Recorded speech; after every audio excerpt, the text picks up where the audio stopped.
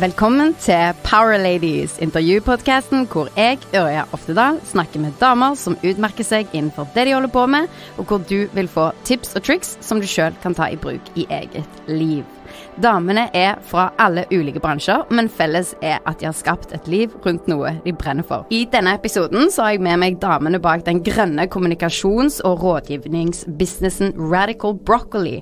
Mulig du ikke har fått øynene opp for de ennå, men now is the time. Anette og Susanne Bastviken er to supersjarmerende søstre med bein i nesen og et brennende engasjement for å bidra til at verden blir et mer bærekraftig sted.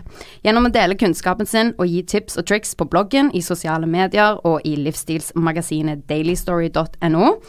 Samtidig som å samarbeide med Gunhild Stordalens Eat Foundation og Nordic Ocean Watch, så får de utløp for nettopp dette. For å gi dem et moderne og forståelig og fancy begrep på hva de holder på med, så kan vi bruke ordet greenfluencer. De har nemlig snart 8500 følgere på Instagram. Og Susanne hun har bakgrunn fra FN, og Anette fra Forsvaret. Velkommen. Tusen takk. Veldig hyggelig å være her. For en introduksjon. Ja. Herregud. Ja, nå eh, satt vi jo litt og prata her på bakrommet, for jeg hadde egentlig hatt et Eller jeg hadde egentlig et litt sånn annerledes ord i introen. Eh, I stedet for sjarmerende så hadde jeg søte. og det eh, fikk jeg jo en bemerkning fra dere at det var ikke like hyggelig. Og så snakket vi litt om hersketeknikker, og jeg skjønte jo med en gang herregud, så plagsomt at jeg tok det ordet, så jeg endra jo det til selvfølgelig sjarmerende. Eh, men så kom jo i snakk om en liten sånn historie som eh, forteller litt eh, Gir en beskrivelse av dere som personer. Så det var derfor jeg tenkte å foreslå at vi kanskje kunne begynne med den lille historien din, Anette. Ja. En sjarmerende historie. Ja. Nei, vi bare Det var vel noe vi kom inn på fordi verken Susanne og jeg er så veldig glad i å bli kalt sånn søte og flinke, for ofte så føles det ut som det er litt sånn ovenifra og ned. Mm. Um, men da fortalte jeg en historie, for jeg jobbet i, tidligere i Forsvaret som rådgiver og i studieadministrasjonen. Og så på min andre uke på jobb, da, da var jeg 25 år og ferdig med master i War Studies, som er ganske hardcore, ikke sant. Ja. Um, og så var det fest på den skolen hvor jeg jobbet, og så kom liksom en av de mennene som gikk på skole der bort til meg bare Å, trodde du bare var sånn søt og pen eh, sekretær som jobbet Jeg visste ikke at du liksom hadde master og sa sånne ting. Og så ble jeg så utrolig satt ut, så jeg sa ikke noe. Og så kom jeg hjem og bare kjente at det kokte i toppen. Jeg ble skikkelig sinna. Og jeg har ganske temperament. Jeg klarer liksom ikke å gi det slutt. Å ja, det visste jeg ikke. Så jeg kom på jobb neste dag, gikk inn på sjefens kontor og bare 'Dette har skjedd, og dette er det jeg må gjøre med det'.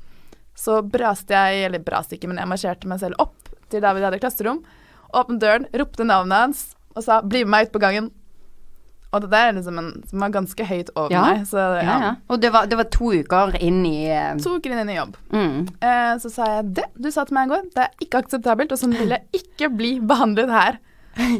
og han ble selvfølgelig kjempesatt ut. Um, og så fikk jeg ikke sagt så mye, for jeg marsjerte og snudde ned igjen. Eh, kom inn på kontoret og bare Å, gud, hva var det jeg gjorde? Men det var så deilig å få sagt ifra. Og så fikk jeg en lang unnskyldningsmail, til meg, til hele ledelsen, så det endte jo bra. Det, men ja, man må si ifra. Ja, hva tror du hadde skjedd hvis du ikke hadde sagt fra, liksom? Jeg tenkte at nå må jeg sette standarden for hvordan jeg vil at folk skal behandle meg. Hvis uh, jeg sier til de på en måte at det er greit at de bare kaller meg pen og sekretær og alt mulig, så er det sånn det kommer til å fortsette å være. Og ikke fankeren, om Mm. det skulle skje. Ja. Det Dødsbra. Ja. Dritbra. Nei, så det syns jeg beskriver litt deres personlighet òg. Dere tar plass, og dere sier fra. Og det er jo kjempeinspirerende, og det håper vi jo at flere skal tørre å gjøre. Ja, det håper virkelig vi også. Etter hvert. Nei, men takk for historien. Veldig bra. Em, og så kan jeg bare begynne rett på at eh, når jeg oppda oppdaget dere på sosiale medier, det var vel sånn Når var det det var? I vår, tror jeg. Da bare kjente jeg at hjertet mitt bare Åh, jeg ble så glad. Fordi endelig så var det liksom noen eh, social media profiles som var norske, som kunne vise liksom den grønne vei for nordmenn. Um, så, så det må jeg si. Veldig bra. For det der, ikke, der er jo ikke så mange ennå eh, som på en måte går så ty tydelig og klart fram og gir tips og triks om hvordan man kan bli mer sustainable. Så, men det, det som jeg tenkte på, var liksom veldig kult navn. Radical Broccoli. Ja. Så mitt første spørsmål Hvordan kom dere på dette? Ja, det kom egentlig fordi eh, i starten så var vi mest opptatt av matproduksjonen, rett og slett. Jeg skulle ønske jeg hadde en litt kul historie om det her, Verket. Nei, men sannheten er at eh, vi bare begynte å grave og grave og grave og lese om matproduksjonen og skjønte at her er det så mye grums, her er det så lite bærekraftig, her er det mye dy mange dyr som behandles helt for jævlig. Er det lov å banne her? Det gjorde jeg. Um, så vi tenkte at innenfor matproduksjonen er vi nødt til å ha et radikalt skifte. Og så tenkte vi sånn Hva er en bedre metafor på matproduksjon enn brokkoli, på en måte? Et liksom Så enkelt og Noe alle vet hva er. Ja. Alle har, liksom, alle har kjennskap til brokkoli, alle vet hvordan det ser ut. Det er grønt, det er kult, det stikker seg liksom litt ut. Og tenkte vi liksom, så syntes vi bare det klinga, da. Mm. Og så ble det det. Og så angret vi sånn seks måneder etterpå og syntes det var verdens teiteste navn. Ja. Og nå elsker vi det. Ja, der ser du. Men det er alltid litt sånn back and forth. Ja, ja.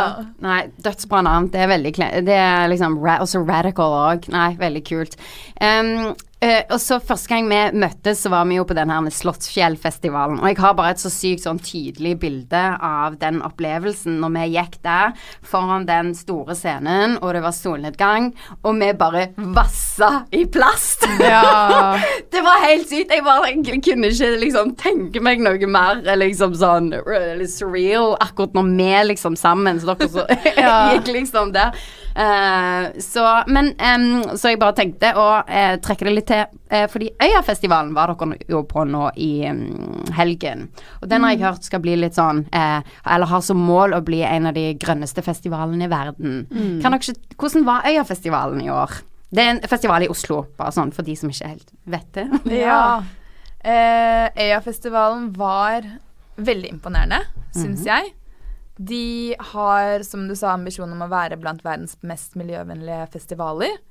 Og vi ble invitert med som presse da, på torsdagen, hvor eh, miljøsjefen viste oss rundt. Og da fikk vi se behind the scenes hvor de sorterte søpla si.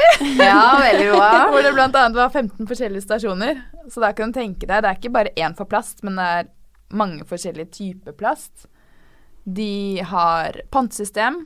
Alle 400 000 koppene som det serveres øl i, er laget av PLA, som er laget av planter istedenfor fossile brennstoffer. Mm. Og Du kan pante popkornposer, og Ja. sneiper kunne du pante, og de der pappgreiene til å ha koppene i. mm, Er det sant? Ja. Oi, så kult. Ja. så her var det Det var mye mer ryddig. Og så er 95, eller 90-95% av all maten økologisk, så de krever at alle som har matboder der, eh, har råvarer som er økologiske. Da. Altså De Mm, går ja. etterpå og sjekker fakturaen på hva de har kjøpt, til og med. Ja. Oi. Selv om ikke disse matstedene driver økologisk fra før, da. Mm. Ja. Og det som er så kult da, er at mange av de ender med å gjøre det etterpå, for de oppdager at å ja, men det var jo lett, og det smaker bedre, og det var liksom ikke så komplisert som de tenkte det skulle være, da. Så de tar liksom med seg det videre, så det blir sånn fantastiske ringvirkninger av det etterpå. Ja. Herregud. Så Nei, jeg syns det var veldig imponerende. Og det jeg også syns er så fint, uh, er at de vet at de har mye igjen. De er ikke perfekte, men de prøver. Og de, hun uh, miljøsjefen, de sier ikke OK, men dere sier det får vi ikke til, så det gjør vi det ikke. Altså, de, hun finner nye løsninger. Hun er kreativ. Hun, hun baner vei for andre, da. Så jeg så jo at um, det sto en artikkel i NRK, eller på NRK om at de hadde drevet med greenwashing eller et eller annet sånt. Og da, det syns jeg blir en helt feil måte å fremstille Ja, det hele på. Ja, det ble jo så, med en gang sånn negativ Ja. vinkling. Ja. Det, så Ikke prøve å ta ned de som faktisk liksom prøver. trår fram, Nei. og prøver så godt de kan. Åh, det er alltid Ja. noen. Ja. ja. Men det er jo alltid noe å kritisere. Jeg heier skikkelig på øya, og uh, syns det er helt fantastisk at de samler liksom De samler Oslo på en kul fest som er miljøvennlig, uten at det går på bekostning av at noen koser seg. Mm. Og vise vei, altså på en måte vise hvordan det går an å gjøre ting. Ja. Og jeg så jo bilder av at dere spiste tallerkener og sånne Ja. ting. Ja. Men det kunne faktisk vært enda mer vegansk mat, syns jeg. Ja. Ja. Jeg syns neste år, Øya hvis du hører på, du, ja. så burde all maten være vegansk. Fordi da kan vi Da kan jo masse mennesker få testet ut at ja. den burgeren det trenger ikke å gå på bekostning av smak eller kos eller noen ting. Den Nei. kan faktisk være produsert helt uten. Og det trenger ikke engang å si at det er vegansk mat, Nei. men bare ha en sånn til alle som lager maten, du må være vegansk, men ikke Ja, ja. liksom eh, promote it. Ja. For det er jo det da folk eh, liksom ikke gjerne tenker over at å ja, det er vegansk, da skal jeg ikke like det, da skal Ja, jeg ikke ikke Ja. Mm. Lur alle. Ja, lur. Trick. Tricks to the people. Ja. Nei, men kult. Um, og så er det jo litt interessant å høre på um, hva, hva som har gjort at dere har kommet på den missionen, den grønne missionen som dere er på nå. Um, har, du, har dere alltid hatt en sånn bærekraftig livsstil som dere har nå? Nei. Oi, langt derifra. Ja. Jeg tror liksom det eneste som har vært sånn langvarig, ja, er på en måte at jeg har vært veldig sånn resirkuleringsfan Fan. hjemme. Ja. Jeg Eh, tenkte ikke på det før. nei. Så du kan jo egentlig fortelle liksom Og så har jeg likt sunn mat. Jeg har ikke vært så veldig Jeg har vært opptatt av Ja. Men sunt på en helt annen måte, da. Ja. ja. Skal vi begynne fra hvordan radikale brokkoli ble født? um, nei, det var egentlig Vi må tilbake til 2014, var det vel, da jeg studerte på Kings College i London. Og da tok jeg en master i uh, noe som heter War Studies, som er da krigsstudier. jeg er veldig nerd. Fantastisk, ja. Veldig nerd. Og jeg skrev om atomvåpen. og der hadde jeg et første halvår hvor jeg bare Jeg elsket det der. Altså, jeg elsket alle forelesningene. Jeg var liksom ute av døren klokken åtte om morgenen, var hjemme ti hver kveld. Uh, jeg var med i alle mulige klubber. Jeg var ute hver helg. Altså, ja, jeg kjørte, kjørte veldig hardt. Um, I tillegg var det sånn pensum på 500 sider hver eneste u... Altså, det var Det er en eliteskole hvor liksom uh, kravene er ekstremt høye. Og jeg tror aldri jeg har skjønt at hvis man ikke tar en pause, så kan det hende den tar det for deg, holdt jeg på å si. Så jeg eh, opplevde veldig, veldig um, magesmerter eh, utover etter jul, og fikk skikkelig problemer med energien. Et halvt år etter du hadde begynt. Ja. Og bare kjente at nå er det noe som er skikkelig galt. Så kom jeg hjem til Norge, prøvde å gå til legen, men de bare ja, nei, du er, du er jente, det er vanlig å ha vondt i magen. Nei! Jo da.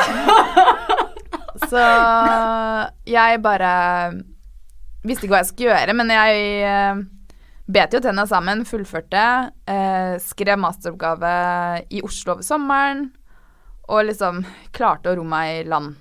Eh, så dro jeg på ferie etter jeg hadde levert, til å besøke Susanne i Singapore, som var på utveksling, og så kom jeg hjem, og da bare kapitulerte jeg. Altså bare da Jeg hadde ingen energi, ingen eh, Jeg bare Jeg kunne spise en valnøtt, og det brant i meg. Jeg tålte ingenting. ja.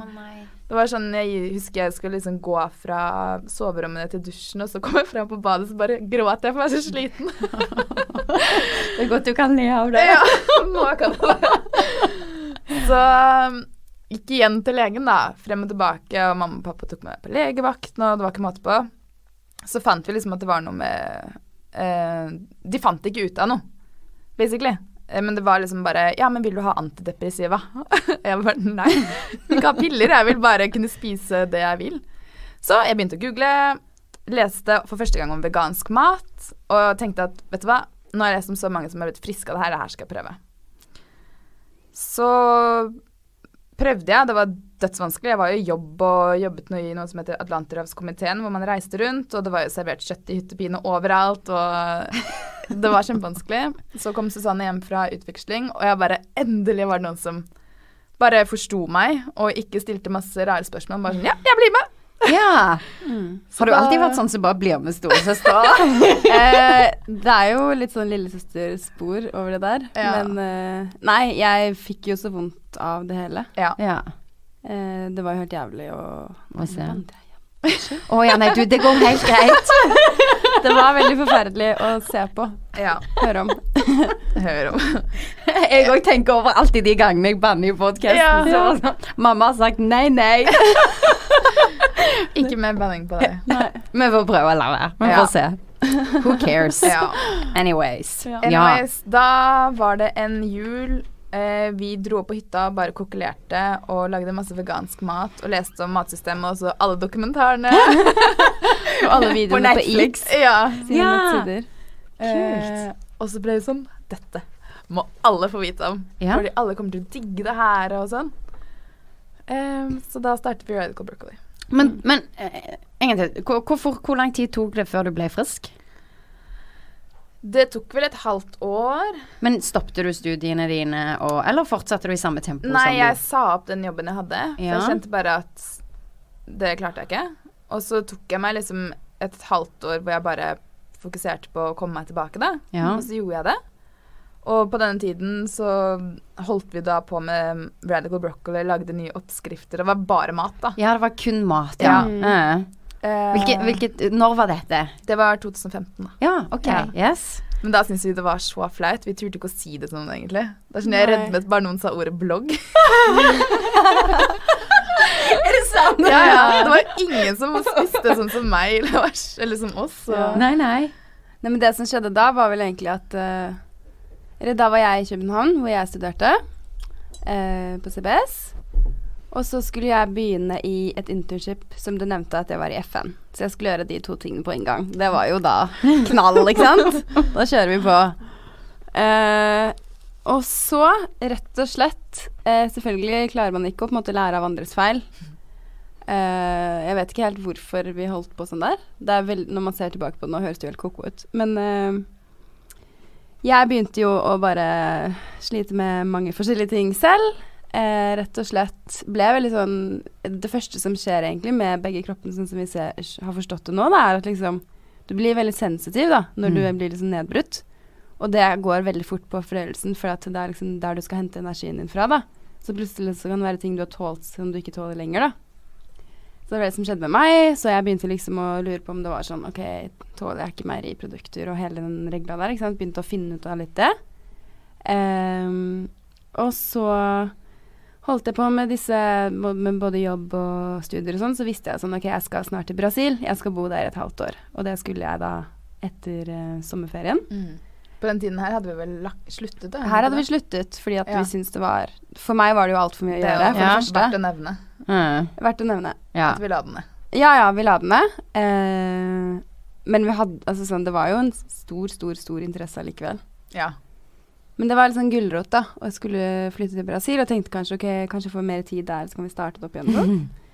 Eh, men det som skjedde da, var at jeg fikk eh, en enda større smell, egentlig. For det, det var litt sånn der, du vet når du drar på ferie, og så skal du slappe av, og så blir du Ja. veldig ofte syk. Mm. Det ble liksom sånn, bare sånn Enda verre. Massiv uh, Ja.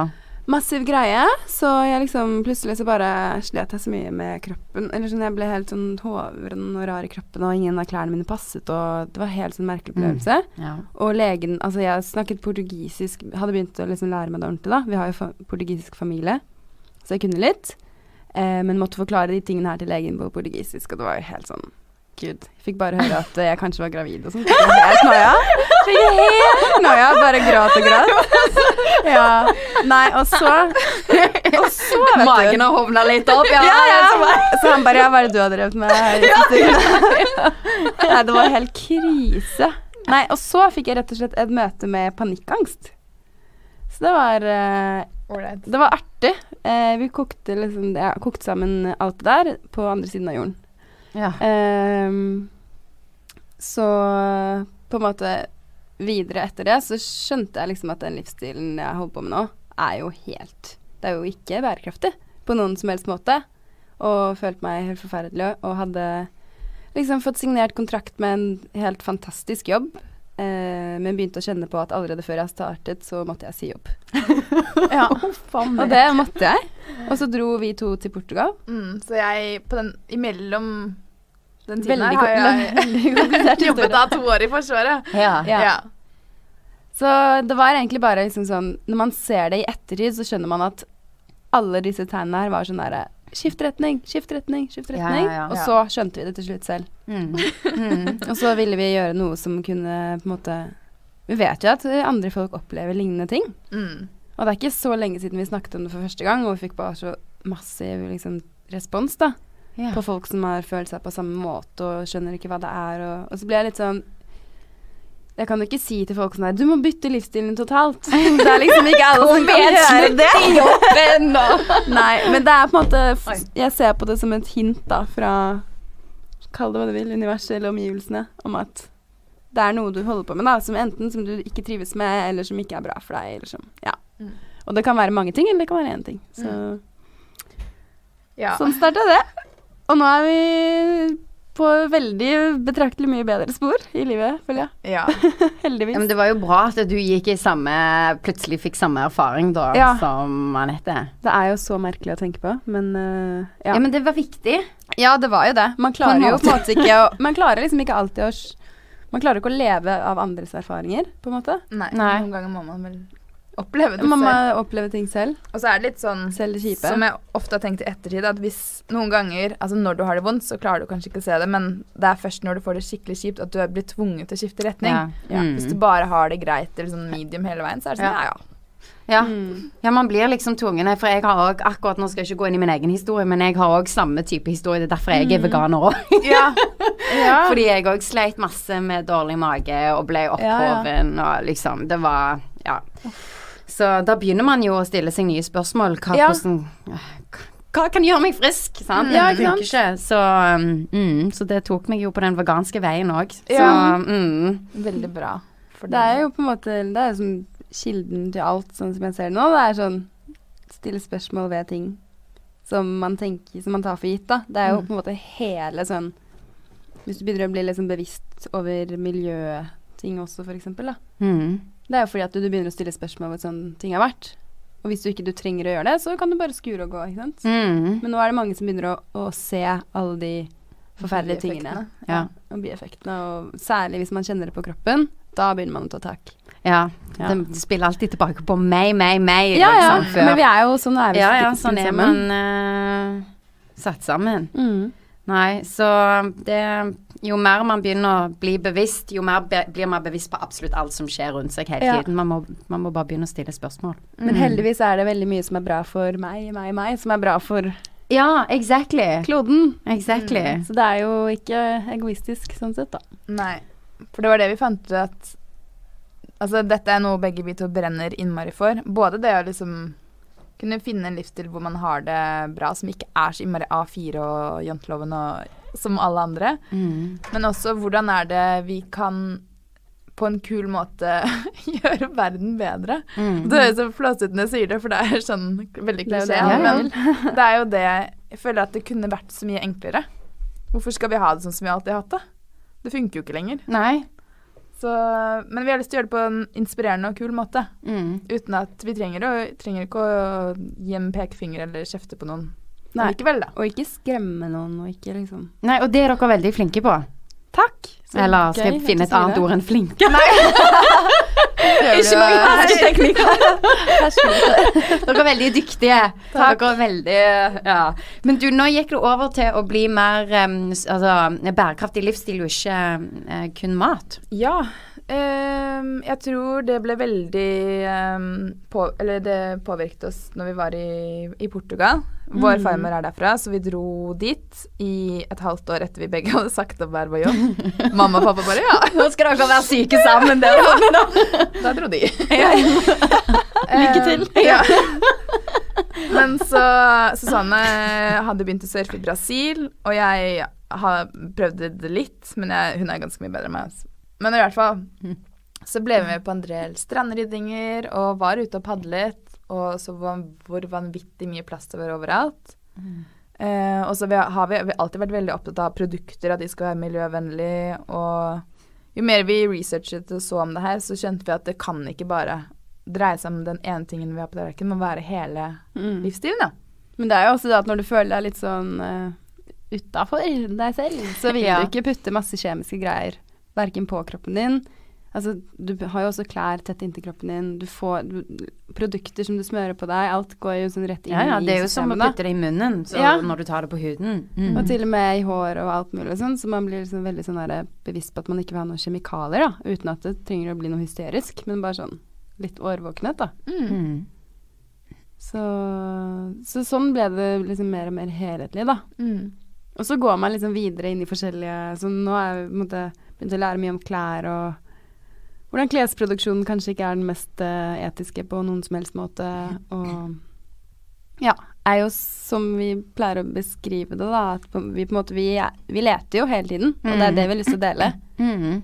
De tingene vi finner på veien og Fordi som Vi startet jo på ingen som helst måte på noe sånn eh, grønt sted. Nei, og det er jo mye av det vi gjør som ikke er så grønt heller, sikkert. Så, Men det er jo Men sånn, det blir også et poeng, fordi man kan ikke liksom gjøre alt. Og det kan ingen. Da blir man utbrent. Da blir man gal. Ja, Ja. Det, ja da blir man stressa. Da tar vi den slupen bare rundt ikke og rundt. Så det er sånn. Nei, Vær forsiktig med det. Nei, men det er sånn når man når, Da mestra dere plutselig det å spise med kostholdet. Trengte ikke å bruke så mye mer tankekapasitet på det. Og så blir det sant, og så går det videre da til klær. Plutselig mestrer Ja. dere det med klær, og Det så er som blir et det sånn noe nytt. spill. Det er Ja, sånn det, ja, det nivå. blir sånn OK, sustainability innenfor det fagfeltet, det, det, det, det, så plutselig Men, men samtidig, man blir jo egentlig aldri utlært. Sånn er det jo. Nei. Men, Nei. eh, mm. Og så så er var det det liksom gøy. det å prøve å skape en jobb ut av det, da. Ja. Selvfølgelig. Man må jo ha et levebrød. Ja. Mm. Og så hvordan fikk dere til det?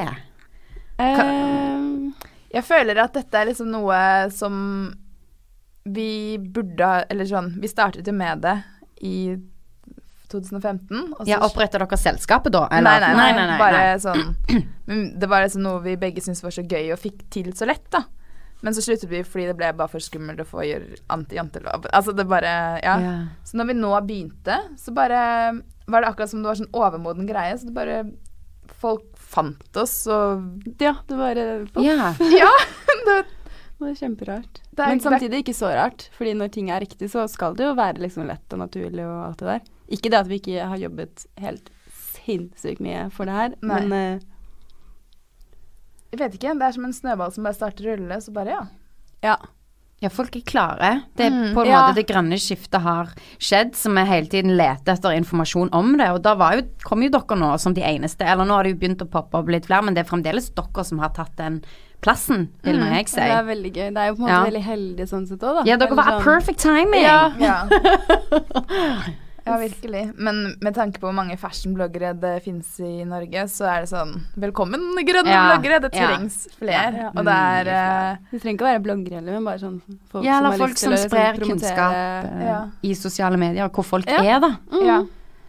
For det Og Det er jo kjempekult, fordi de som følger oss, da Vi har jo ikke massevis av massevis av følgere, men de som følger oss, er så engasjerte. Ja. Og er så Det er som svamper. Liksom bare sånn Mer info! Ja. og har så lyst til å vite alt. Og sånn, vi vet jo ikke alt, vi heller, men vi prøver å dele alt vi kan, og alt vi får tid til. mm. Så folk Og så det etter liksom den Planet Plast-TV-serien og sånn, da. Så folk liksom virkelig får opp øynene nå, da. Det er så kult! Mm. Det betyr liksom at nå kommer massene til å forandre seg. ja. Ja. Og det, det må vi jo, liksom. Det Ja. er jo Det må vi. ja. Ja, jeg tror verden er i ferd med å forandres. ja. Mm. Jeg håper bare ikke det tar sånn kjempe, kjempelang tid, men, men det er liksom sånn som de sier nå, det er bare det skiftet har skjedd, så nå må Mm. bare ja, flere greenfluencers må komme til, og så Jeg føler den generasjonen som kommer nå, har veldig mye mer lyst til å jobbe med noe som gir dem mening, enn Ja. bare å tjene penger. De vil gjøre begge deler. mm. Ja. Så det er liksom Det er ny, eh, god energi som kommer nå. ja. Det er jo på en måte bra. Eller sånn, det er så mange som tuller med at liksom, alle millennials skal liksom realisere seg selv og finne seg selv med en gang og sånn. Men det sånn Det er jo egentlig dødsbra, fordi at uh, da er det sikkert mange som har lyst til å drive med skikkelig sånne derre passion-prosjekter. Ja, det er nettopp det. Og har Altså, og selv om man har lyst til noe som kommer til seg selv, så Vi er så opplyste, den millennialsgenerasjonen, at de fleste har et fokus utenfor seg sjøl når det kommer til det de har lyst til å på en måte jobbe med. Altså det virker Ja. som vår generasjon har lyst til å gjøre noe sjøl, samtidig som å gjøre noe bra for verden. Ja. Mm. Heia det. Heia det. Mer av det. Ja. Eh, men hvordan oppdaget eh, Fordi dere er med i denne livsstilsmagasinet Daily Story òg. Hvordan kom Ja. dere plutselig dit? Kom, fant, eh, for det er jo Tone Damli og Bertine Søtlitz og de som står bak det, er det ikke sånn? Mm. Ble dere med der helt fra starten, eller? De var vel, hva skal man si, de første som oppdaget oss, eller hvordan Ja. man skal si det. Ja. Eh, men da tok de kontakt. De hadde fått tips, da, Ja, de hadde fått et tips. fra noen som kjenner oss igjen.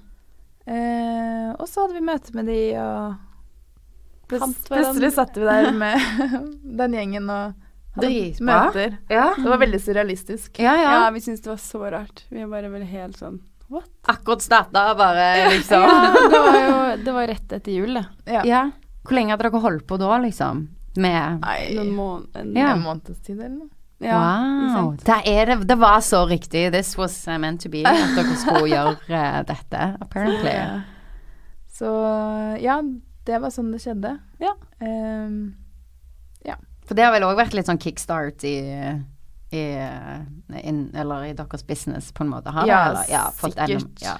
Eller who knows? vanskelig å pe peke på, men sånn, de som følger de, de andre jentene, er jo sikkert ikke de som egentlig ville fulgt oss, på en Mm. måte. Men så Så vi håper liksom at uh, det har vært sånn heldig sånn at kanskje vi kan nå ut til noen som ikke tenker på disse Mm. temaene. mm. Så det er jo på en måte derfor vi hadde lyst til å være på en litt sånn kommersiell plattform, da, hvor det er mye sminke og mote og Ja, ja. Og, og det er jo selvfølgelig kjempekult at folk har veldig forskjellige interesser. Det er ikke noe sånn imot det, men det er bare sånn Det er gøy, da, at man kan gå på kryss og tvers sånn. Ja, men bærekraft kan jo komme inn under alt, sånn som du sier, klær, sminke, Ja, ja, ja. alt mulig. Nå har det begynt å komme så mange kule merker, f.eks., Ja. som er opptatt av det her, etisk produksjon og Ja. Og så er dere jo òg med i Eat Foundation og det der Nordic Ocean Watch. Kan dere ikke fortelle litt sånn kort om de tingene der òg, som dere gjør? Jo, jeg kan fortelle om Nordic Ocean Watch Ja. da. Ja. Eh, det er en eh, miljøorganisasjon. Ja. Eh, startet Er det av surfere er det bare for surfere? Nei. I hvert fall folk som er opptatt av å ta vare på havet, da. Mm. Ja. Så det er jo helt frivillig. Eh, og man kan være medlem, være med å rydde en strand. Være med I Hodvik så er det satt opp noe som heter eh, Tavahaløa. Eller Tavahaløa Jeg klarer aldri å si det ordet. Tavaha. Løa. Ja. Um, hvor de En liten sånn låve, da. Ja. Hvor de har samlet sammen all plasten som kommer inn til Hoddevika, og så sorterer de den. Så da kan du se liksom, er det fra utlandet, er det fra Norge, og så prøver de å finne måter å Hvordan kan man bruke den, dette her på nytt? Kan vi selge det? Kan vi lage noe? Så det er eh, rett og slett et skikkelig kult kollektiv av ildsjeler som brenner for å ta vare på havet. Mm. Og det vi har gjort der, er å velge ut månedens havfrue eller havmann. Så altså, koselig. Ja, det også. Så rett og slett finne en som har utmerket seg eh, den måneden for å ta ekstra godt vare på havet. Ja. Så det, jeg håper alle går og følger de på Instagram, Ja. det er så for de fortjener det. Ja. Skikkelig, skikkelig bra gjeng. Ta hava. Mm. Hashtag ta hava. Tavaha. Å, Tavaha. Bra du sa det. Mm. Hvis man lurer på uttalen, så tenk på aloha. Fordi det er liksom Nordens aloha. Det er Ja. tavaha. Og det er ta vare på havet. Ja.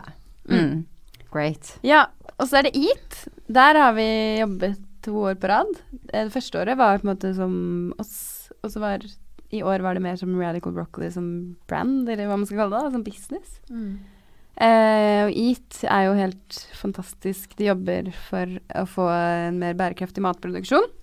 Og alt som det innebærer. Det er jo ikke liksom Ja, med Gunhild i front Mm. som bare har lyst til å endevende hele verden. Og det er jo bare så rått. Og hun får det jo søren meg til òg. Uh, så der har vi fått lov å være med og Ja, vi har jobbet med kommunikasjon. Uh, I år hadde vi Instagram, Facebook, vi hadde måte alle de sosiale kanalene. Eh, unntatt Twitter. Eh, og så lagde vi film, og vi lagde intro til middagen, og vi var litt på scenen. Eh, og selvfølgelig møtte sinnssykt mange inspirerende mennesker og Ja. Ja, i år var det ganske stort. Jeg var veldig nervøs før vi skulle på scenen. da. Ja. Hva gjorde dere på scenen? Dere holdt foredrag, eller? Nei, vi introduserte maten som var laget til alle gjestene. Oh, ja. Så der var det en uh, svensk kokk som het Paul. Pål Eh, Svensson. Pål Svensson var det. Ja. som har uh, laget all maten bærekraftig, da. Så introduserte vi den sammen. Ja. Så han lager Kult. mat med på en måte grønnsaker er hovedfokuset i hans matlaging, da. Hva var det du sa han heter? Pål Svensson. Er han sånn man kan finne på Instagram og følge, eller? Ja. ja. Kjent Eh, så han, har, han lager all mat på Fotografiska, hvis noen har vært der. Eh, det er sånn fotomuseum i Stockholm. Mm. Dritkult sted. Um, og så uh, Ja. Jeg husker ikke hva mer jeg skulle si om det. Var det fordi du bannet igjen? Nei, dritkult. Det er helt greit, det. Herregud. Men du, altså, det er så mange. Altså, jeg Det er hører jo mye Anette som har bannet.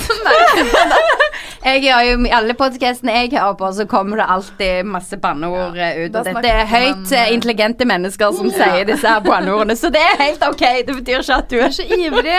ja, nettopp. Og mange, norsk er jo et litt sånn fattig språk, så vi har liksom ikke Ja. så mange ord. Det det. er sant. Jeg, jeg bare utvider ordforrådet mitt. Ja, egentlig. Men mange fine ord. Søte, snille ord. Ja, ja. Slink jente og sånn. Anyways, eh, jeg vil gjerne at uh, få høre om den der plastfrie månen eh, deres, for den fikk dere jo ganske mye medieoppmerksomhet fra, og det er jo ganske Ja. spennende. Eh, dere fikk den en challenge da fra VG, har jeg fått med meg, for dere har hørt eh, intervjuet ditt på God morgen Norge. um, så, men How did this come about? Uh, liksom, hvorfor, hvorfor tok dere på dere den uh, challenge? Hva, hva er det på norsk, egentlig? Utfordring. ja. um, vi tenkte at vi ville ikke bare snakke, vi ville også vise og gjennomføre at vi står for våre ord. Og vi hadde snakket veldig mye om plast, men så oppdaget vi egentlig selv hvor mye plass vi brukte i hverdagen. Så tenkte vi det må jo være en måte å gjøre det bedre enn det vi gjør nå. Gjør nå. Mm. Og så eh, tror jeg vi lekte litt med å ha en plastfri måned, men visste ikke helt når og når er det det passer. Og burde vi gjøre det om sommeren, fordi da er det ikke så mye ikke så mye hassle. Eh, ja. Og så ble vi jo da kontaktet av VGTV, som skulle lage sånn Snapchat-sak. Det var noen som pitcha oss inn der. Noen som pitchet oss inn Ja. der, ja. Det var ikke sånn at de fant oss ut av det blå. Nei. Eh, og ville snakke om det her. Så da ble vi sånn Ja, nei, men da må vi bare gjøre det, da. Så tre dager etterpå så startet vi på en plastfri måned. Ja. Uten planlegging eller noen ting. Og to Eh. uker etter det igjen så dro Anette på ferie. Nei da. Anette dro til på yogautdanningskurs. Ja. Så jeg hadde showet videre for meg selv. ja. Og da ringte selvfølgelig God morgen Norge. Så jeg var sånn Ja. Da gjør jeg det, Helena. Ja, men det naila du, Takk. faktisk. Ja. Det er bra. Ja. Det er veldig hyggelig. Jeg har fått veldig god tilbakemelding på det. Ja. det var dritbra. Nei, så det var jo egentlig det at vi tenkte sånn herre Plast er et helt sinnssykt stort problem nå eh, i disse dager. Og ja, er egentlig bare måten vi bruker det på i dag, har sklidd helt ut, da. Eh, og vi produserer liksom 20 ganger så mye som vi gjorde da våre foreldre ble født, cirka. Mm. Og det er veldig ressurskrevende å produsere, det bruker masse olje. Eh, det er veldig sånn Det tar hundrevis og hundrevis av år å bryte ned.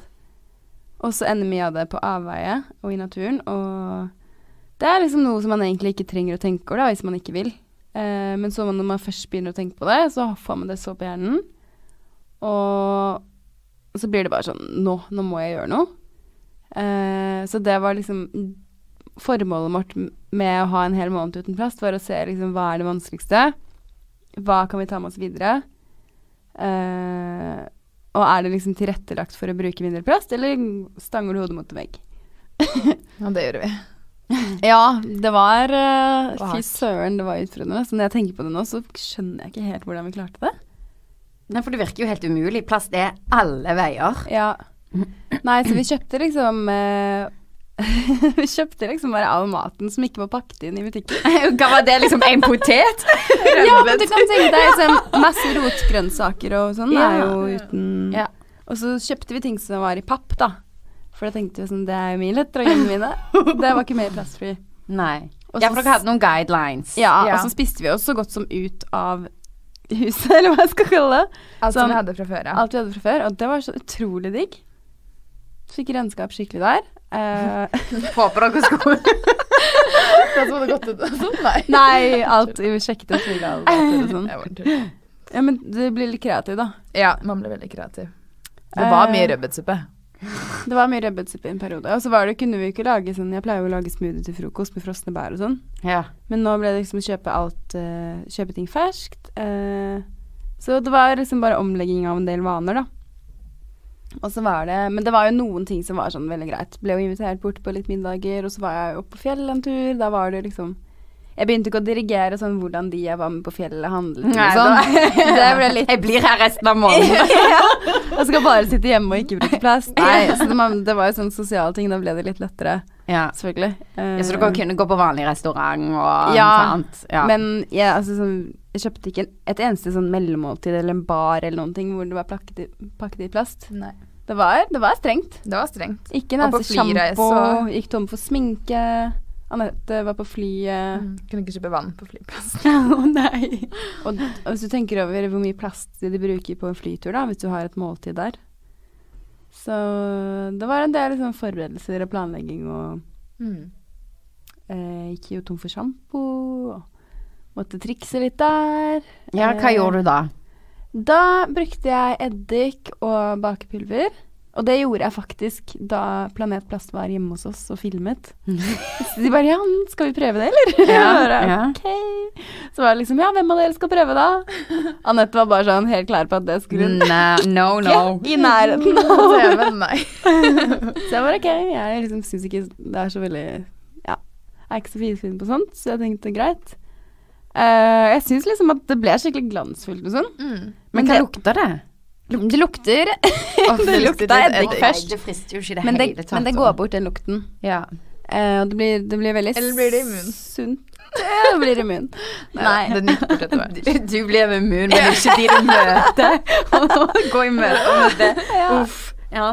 Nei, så øhm, Men det er på en måte det som ikke var holdbart i lengden for meg med det, var liksom akkurat prosessen liksom i dusjen. da Skal du gå og hente liksom litt eddik, og så må du ha det i et glass, og så må du ha bakpulveret der, og så må du passe på at ikke vannet kommer i bakpulveret, for da skummer jo hele greia over. Og så skal du putte det i håret ditt i forskjellige rekkefølger. Så det var liksom tungt sånn sett, da. ja. Så nå bruker jeg isteden sånn sjampobarer.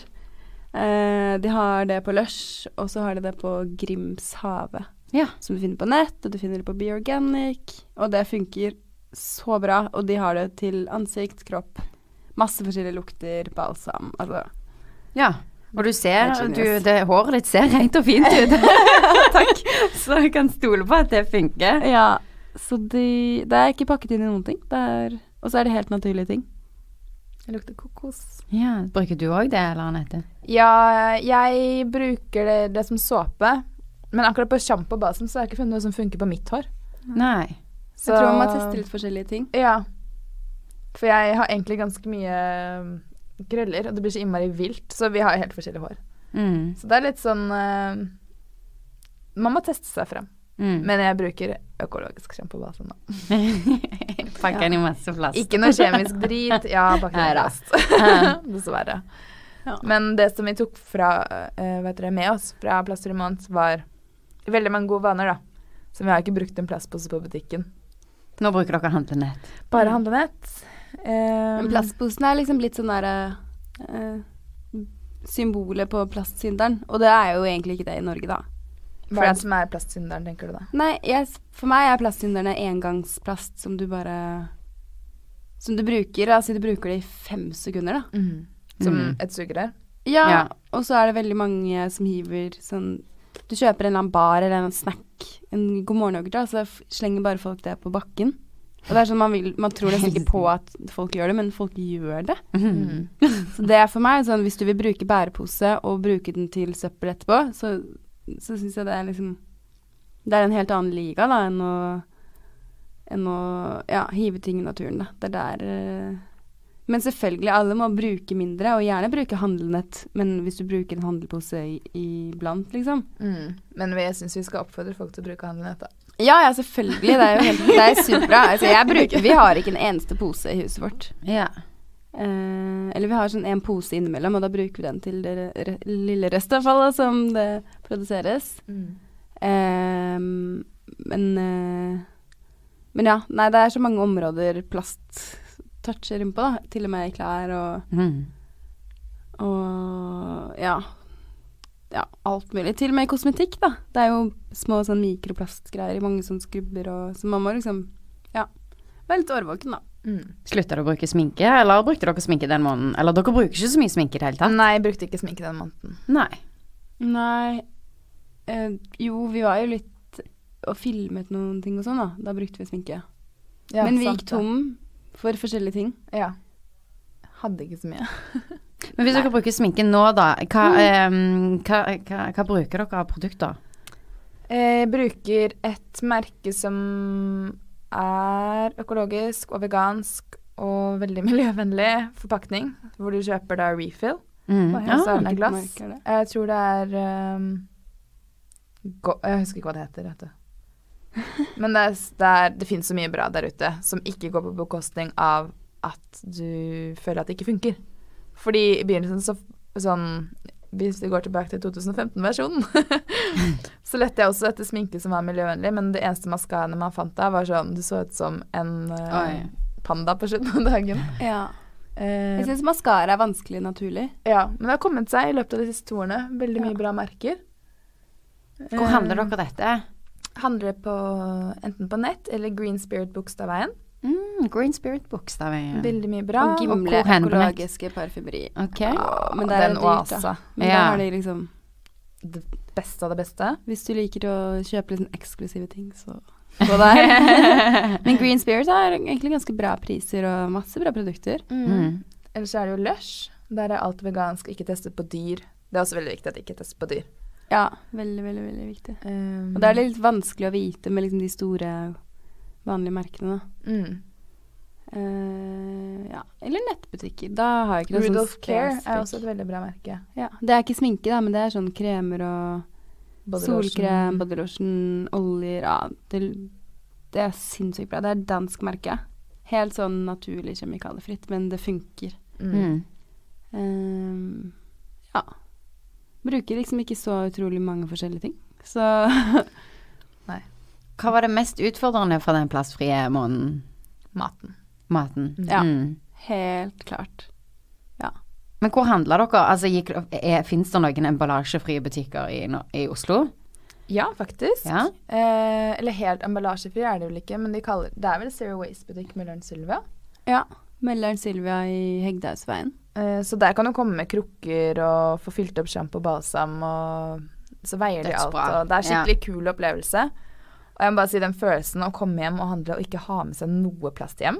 Det er, altså, sånn, det er så deilig, Ja. og du føler deg bare så Ren. ren. ja. Jeg vet ikke hva annet man skal bruke av ord. Nei. Men det, det er mulig, da. Jeg dro også og handle på Grønland. Bare på vanlige grønnsaksbutikker. Der er det liksom Da får du jo alle mulige Mm. krydder og til og med urter, urter, og salat og spinat og liksom alt som vanligvis er pakket veldig Altså sånn Selvfølgelig, mange ting er pakket inn med et formål om å bevare maten. Eh, og det er jo sånn det er jo, Man vet jo ikke alltid hvilke ting som holder seg bedre uten og med. Og det vet på en måte ikke heller helt mat eh, skje- Altså sånn, ja. Det er ikke nok informasjon om akkurat den delen der. Så det er Nei. ikke sånn at vi skal si at alle matbutikkene burde ha alt uten plast. For da blir det masse matsvinn, og det har vi i Mm. hvert fall ikke lyst på. Det er jo faktisk nesten et enda større problem da, innen matproduksjon. Mm. Um, men samtidig så er det jo veldig, veldig, veldig mye av maten som kastes hjemme. Og noe av det som kastes, er jo pga. klønete store forpakninger i plast eller Ja. sånne ting. Så det blir liksom sånn Det er så mange aspekter av det her da, som man er nødt til å ta tak i. Mm. Um, men ja, på Grønland da, så var det bare Ja. Men er det mye dyrere, f.eks. I den butikken i Hedgehausveien? Nei. Nei.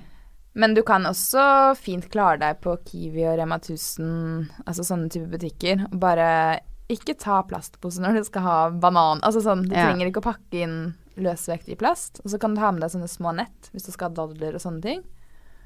Hva hvis du er en storfamilie og skal liksom handle dødsmye, liksom? Ja, Mm. Hva gjør man da?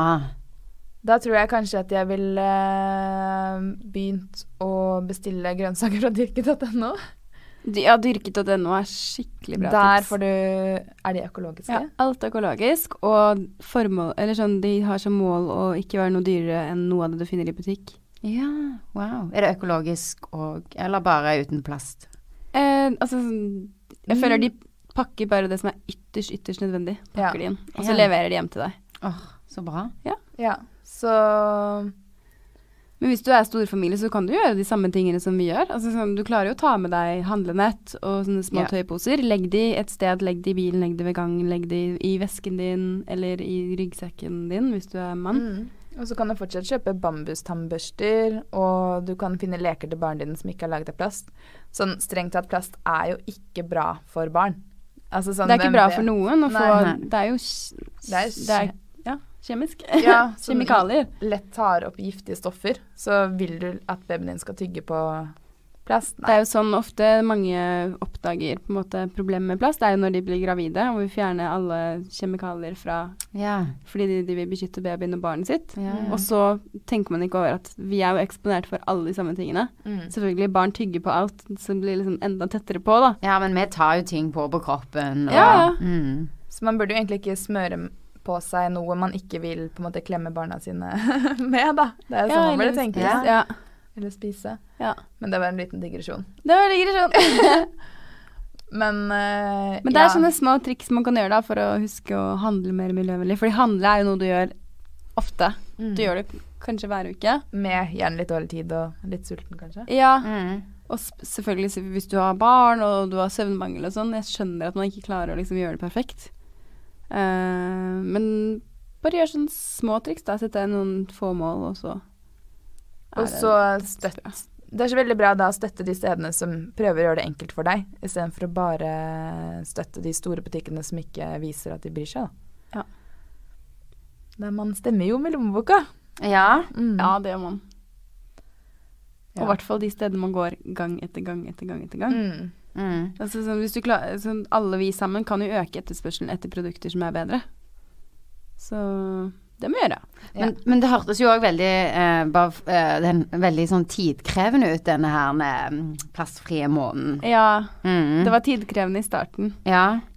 og så, Og så begynte det å rulle litt. Ja. ja, så det på en måte liksom Det gikk Dere kunne fortsatt, eller ville det blitt for mye styr? Ja. ikke. Kunne ikke fortsatt 100 Nei. men vi har tatt med oss masse ting. Mm. Ja. Sånn jeg Vi har jo ikke restavfall omtrent. Sorteringen vår for eksempel har blitt mye mer hardcore ja. etter det. Også fordi vi hadde et besøk oppå avfallsstasjonen i løpet av den måneden. Var, eller var det ikke i løpet av den måneden? Jo, vi var på Roaf og fikk sortere søppel. Mm. Altså de posene hvor folk basically bare kaster alt i ett, og så må noen stå der og Nei, må de faktisk fysisk gjøre det? Ja, i hvert fall. Ja, men det her var for analyseformål, da. Ok. Ja. Ellers er det jo Det burde jo være en maskin som var så intelligent Ja. at uh, Det er maskin som gjør det, men det som er så kjipt, er at folk tror Ja, jeg kan jo bare hive alt i samme fordi det er en maskin som sorterer Nei, men det er, er en maskin som gjør det? Jeg trodde de bare tok alt i restavfall, det. Nei, det er en maskin som klarer å sortere ut ulike, noen ulike typer plast, og de maskinene blir jo bedre og bedre og bedre. Ja. Men det betyr jo ikke at det ikke er en sinnssykt ressurskrevende. Nei. Altså sånn Hvis folk hadde gjort det hjemme, så hadde man sluppet å gjøre det to ganger. Ja. Nei, det burde vært påbudt å sortere. sortere. Det er så enkelt. Ja. Og det er jo litt gøy. Så bra! Herregud. Jeg tror ikke alle ser på det på den måten. For det er så vanskelig å lage en sånn liten altså, miljøstasjon hjemme under den lille vasken. Ikke sant? Ja, Det er sånn helt Men ja, fortell. Ja, nei, jeg er, bare, jeg er veldig sånn ryddefreak av meg. Jeg liker å ha liksom Jeg Med en gang det blir system. Ja.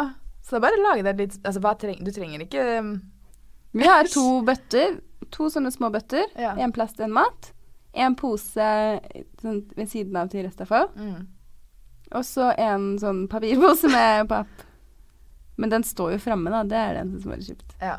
Bare den papirposen. Ja. ja. Bli med hjem til oss og se! ja, noterer alle inn.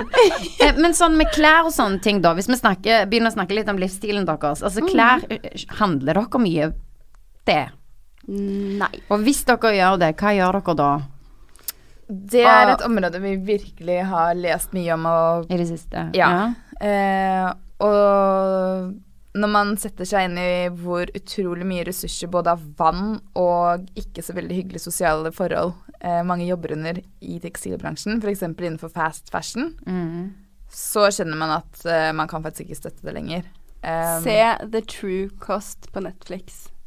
Dokumentar. ja. The true cost. Herregud. Ja, jeg begynte å gråte. Mm. Det er Om helt klesindustrien. forferdelig, ja. Ja. Mm. Helt forferdelig. Så det vi har prøvd, er å fokusere på å handle ting av god kvalitet. Eh, sånn at det varer lenger. Du ønsker å ta vare på de klærne du kjøper. Og så prøver vi å finne miljøvennlige merker, men det har vært, det har vært utfordrende.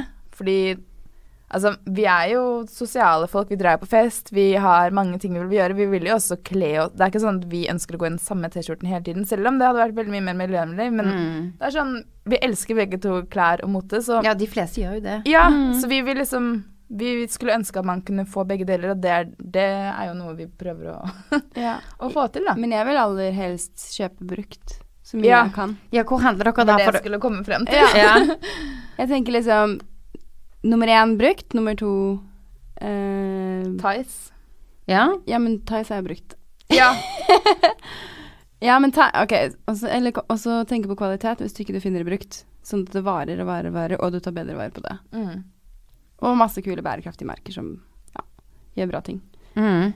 Så det er jo De fleste byer har jo kule vintagebutikker. Eh, jeg har prøvd å handle litt på nett i det siste, det har ikke vært så veldig vellykka.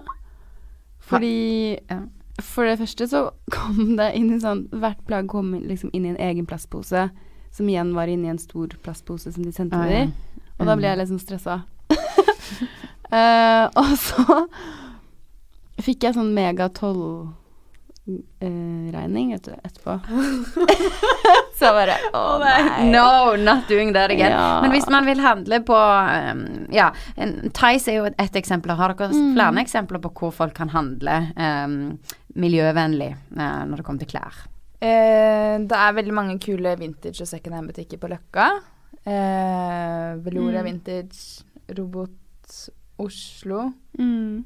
Eh, Jeg husker ikke hva alle sammen heter, men Nei. alle ligger liksom I det området der. på Grünerløkka. Og så har de Det er et merke som heter Greater Than A. Som er sportswear, eller litt sånn casual wear. Sportswear. Sportswear What's it called? Fritidstøy. Fritidstøy. Ja. Um, Fritidssted høres ut som sånn som barn har når de kommer hjem fra barnehagen. Da er det på med fritidstøyet. som er uh, miljøvennlig. Eh, Eller så er det Det er jo veldig mange kule danske merker, syns jeg. mm, Blant annet et som heter Blanche. Et Som de selger på Svean, på Palais. Mm. Mm. Og så et som heter Rodebjerg. Da bruker de mye miljøvennlige materialer.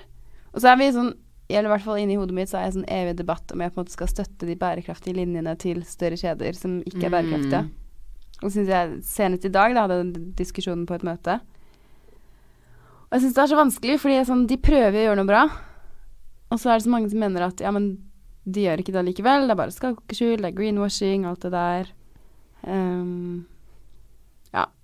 Men uh, i hovedsak så ser jeg på en måte etter ting som er laget av naturlige materialer, da. Hva med husholdningsartikler? Mm. Altså sånn Der er det vasketøy og green uh, Hvor handler dere det, og hva, Hele- hva er. Har dere noen tips til Det har de masse i Klare, for eksempel. Ja, Klar. Et veldig fint merke. Ja, det har de på Rema 1000. Mm, Så det syns jeg har blitt så mye bra utvalg. veldig. at, Og det er eh, billig. Og det er billig. Eh, Veldig kul dame som står bak det. Nå husker jeg ikke helt hva hun heter, men hun har Ja. Aha, veldig bra. Hun har bein i nesa. Ja. Ja. Ja. Så det er et merke som man kan få tak i. Eller så har, er det en god del nettbutikker. Eh, Bioorganic, de må jo nevne at vi har samarbeidet med. Ja. Bioecoshop Um, ehm, Ja, det er flere sånne typer nettbutikker. Ja. Så det er faktisk ganske enkelt. Folk burde bare uh, handle inn, storhandle inn det de trenger, og så Mm. Når så det har går de det tomt på for det andre. da. Og så er det på helsekost, men der er det ofte litt dyrere. Mm. Skremmende priser for mange. Mm. Men det er jo ofte ting som er veldig drøyt i bruk òg, da, så man trenger ikke å Jeg husker ikke sist jeg kjøpte inn nye sånne vaskemidler og sånn, Nei. Kanskje fordi jeg gjorde det? Nei da. Ja! Kanskje. Så enkelt går den fordelingen innenfor Men dere bor sammen, ikke sant? Ja, Eller- akkurat nå gjør vi det. Ja. Men vi gleder oss veldig til å Flytte fram. Ja, Ja, dere, jo, dere er jo sammen stort sett hele tiden. mm. Ja, Hvordan er det å Ja, jobbe I sammen det med siste har vi vært flinke til å ikke være det. Ja. Ja. Det er så deilig. det er det lov å si. Det Ja, vi Har dere det- gått litt på, i tottene på hverandre, eller? Ja, man trenger jo på en måte å finne sin egen stemme oppi det hele. Fordi man blir jo veldig ofte bare sånn dere to, eller sånn. Det, det er det vi vil òg. Men um, Ja, men vi blir jo behandlet som, som tvillingpar, da. ja. Og så Og tror- er vi veldig um, Vi vet alltid hva den andre tenker. Man, vi har veldig godt forhold, det er ikke det. Vi er Vi har det veldig Skikkelig gøy sammen. Ja. Hvis ikke så ville vi jo ikke vært så mye sammen, og ikke jobbet sammen heller. Nei. Men det er bare det at når man også da bor sammen, så blir det de derre Ja. Da blir jeg hakket for mye. ja. Og så har vi jo masse felles venner, og Ja. Ja. Så man trenger bare sånn space. Ja, men- jeg liker liksom å være, bare sone helt ut og være for meg selv. Og da, jeg, får, Ja. kan jo gjøre det hjemme. Det gjør alle, tror jeg. Ja, ja, alle trenger det. Åh, nå Alle trenger det. tiden begynner å renne ut. Um, Nei, Sadly. Ja. jeg bare vet det er sånt eh, pressa med tid her, men uansett, vi har tid litt til. Så mm, jeg tenkte å spørre um, Når dere går ut og spiser Mhm. i Oslo, bare for å få sånn noen kjappe tips her nå i slutten, eh, hvor går dere da? Oh, nå Ja, hvor går vi da? Jeg går ikke så mye ut og spiser. Ikke middag, i hvert fall. Men jeg går mye på sånn frokost-lunsjsteder. Det digger jeg. Ja. Hvor, hvor liker dere å gå? Det, for folk som er eh, opptatt av vegansk mat. Opptatt av vegansk mat. Da liker jeg Oslo Raw. Yeah. Det var sikkert ikke noe overraskelse for de som følger eh, Men du, det er en ny som skal åpne nå, som heter Nordic Footprint. Har Ja, ja. Som åpner i eh, Mm, Som er er plantebasert. Ja. Den kommer ned i Prinsens gate der. Ja. Og så er det en ny som heter Kumi, som har kommet. Som jeg ikke har prøvd ennå. Den har jeg ikke hørt om, faktisk. Og så har du jo alle disse smoothie-stedene. Sånn Smooth Exchange og Mm. The Juicery og alt sånt. Det Det som plager meg, at de bruker så mye plass. Veldig mye emballasje. Ja.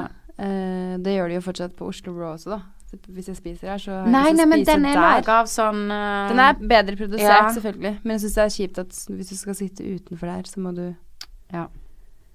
Ha takeaway. Jeg bare syns ah, det blir sånn avfallsproduksjon som du bruker i ti sekunder, og så hiver du Ja, back to that. Ja. Eh, men Nei, ja. men de gjør i hvert fall De gjør jo mye bra, de også, innenfor det. Og de har lyst til å bli bedre.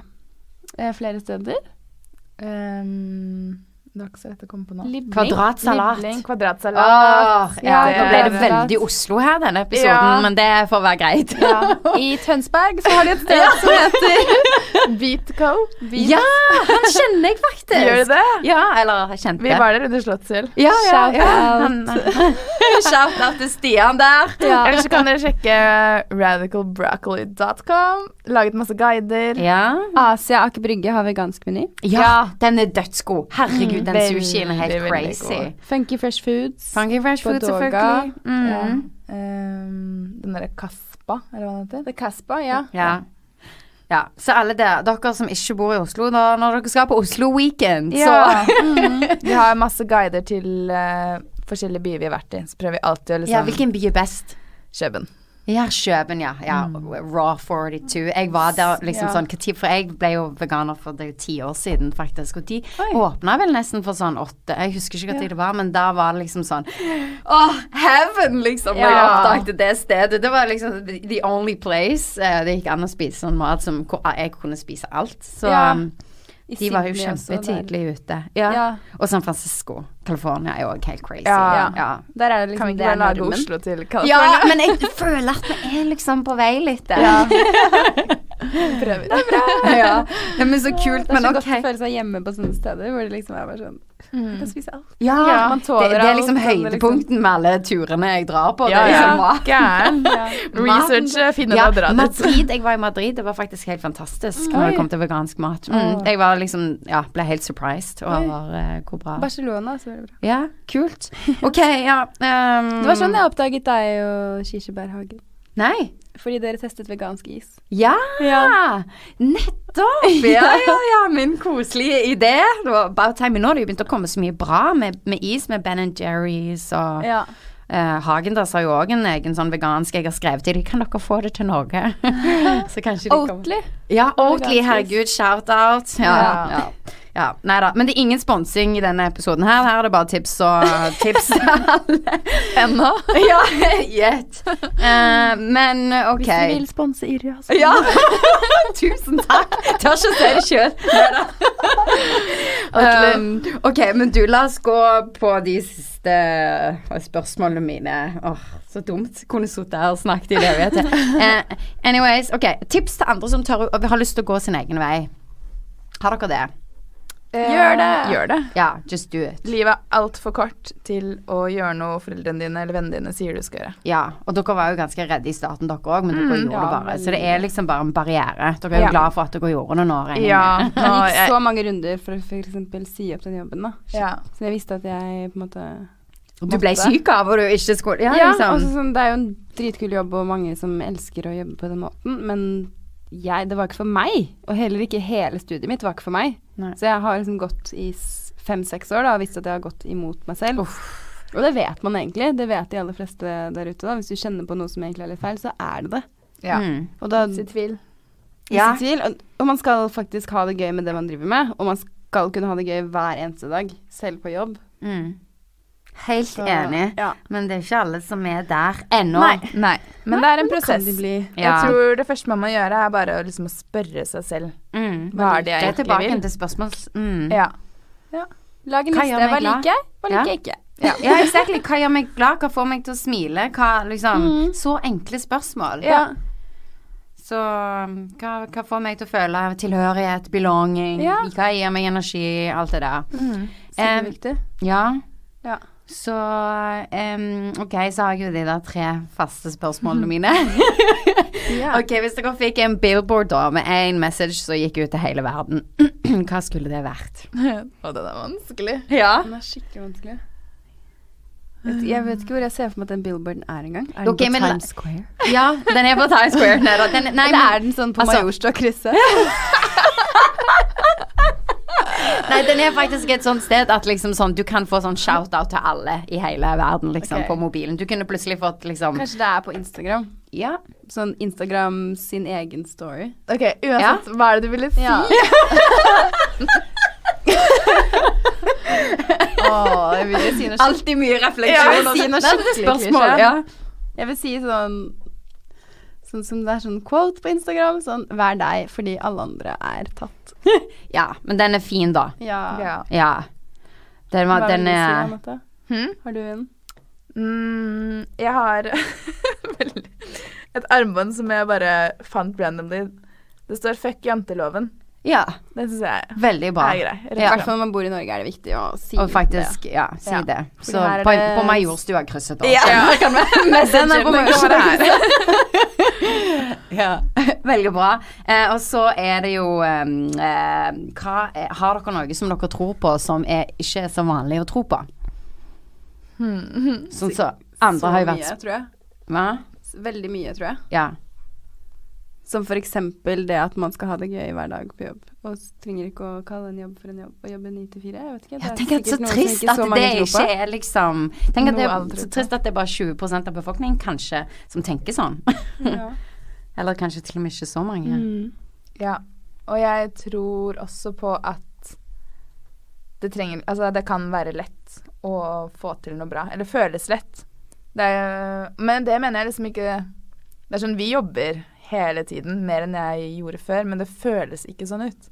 Så det er liksom lettere Samme. å få til noe nå som Mm. er gøy, ja, ikke sant? Men det er fordi du får, man får energi når man gjør noe man liker. Ja. Istedenfor for det er sånn hvis jeg går imot min natur, så kommer jeg jo og har en jobb som jeg ikke trives med, så kommer jeg jo hjem og er dødsliten. Ja. Ja. Eller er dødsliten. For det første så er jeg sliten på jobb, og så kommer jeg hjem og så er jeg også så sliten, sliten at jeg må Ja. bare ligge og se på TV, eller klarer ikke å gjøre en, ja. en dritt. På Men en det er jo som du sier, det- Det er som du sier natur, for du går jo imot naturen sine krefter og lover. Og sånn, det Flott. er jo Mot din natur. Ja. Og det føler jeg er et av faktisk de store problemene til at vi har havnet eh, Så med en på planet kjør. som vi Mm. har den dag i dag, er rett og slett så enkelt som det. Ja. for det er veldig mange som ikke driver med det de er ment til å gjøre, da. Mm. Ja. Det som gjør de Og da glad. viber du ikke på din vibe.